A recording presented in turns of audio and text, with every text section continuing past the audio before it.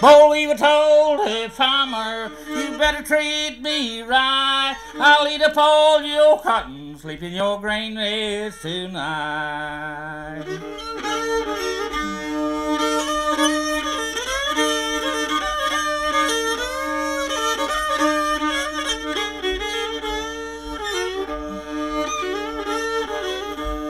Boll Weevil told a farmer, you need no Ford machine. I'll eat up all your cotton, can't buy no gasoline.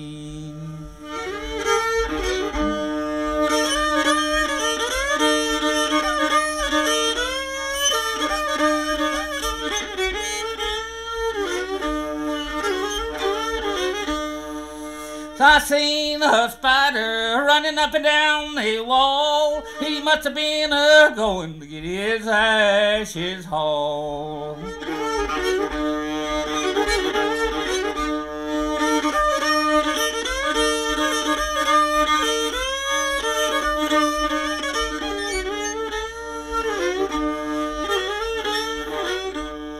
I don't see no water, but I'm about to drown. I don't see no fire, but I'm a burning down.